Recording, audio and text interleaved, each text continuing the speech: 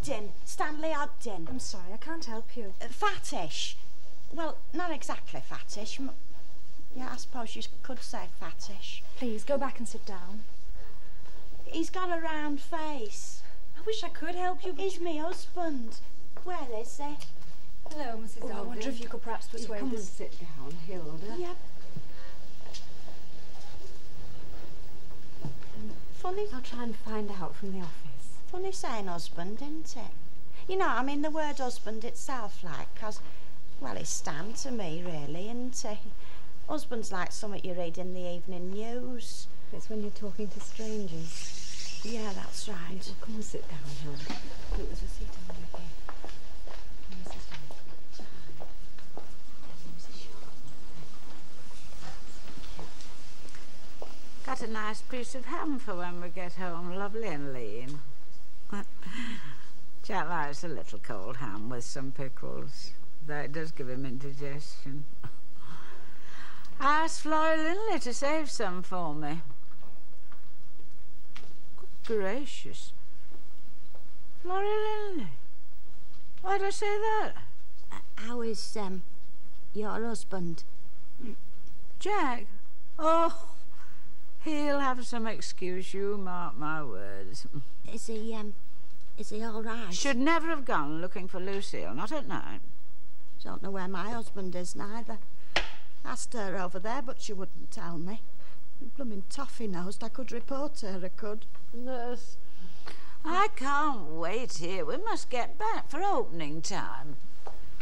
Where's Jack? They won't let you go, Mrs. Walker. Now, don't worry. I, I expect your husband's with my husband somewhere.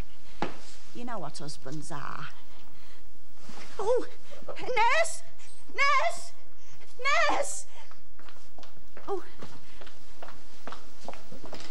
She's fainted. Yes, nurse, she's fainted.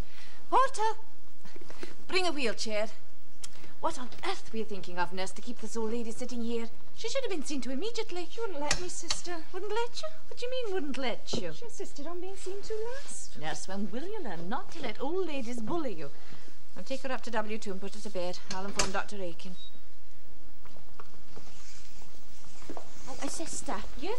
uh, could I have some information? I've got a little girl in there pulled a pan of boiling fat down on herself. I'm very busy. I'm an ignorance in these places. It's all right, Hilda. And Mrs. Walker. Jack's all right, and Stan. They're all right. Ah, Stan. Mr. Walker's in X-ray, and Mr. Ogden's in Ward M1. Stan.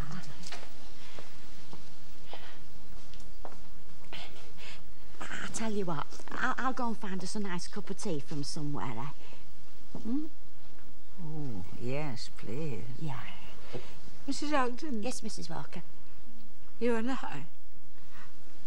We've always been friends, really, haven't we, more than employer and employee? Yeah, that's right. I expect it'll be in cardboard cups. Are you are you feeling all right, Elsie?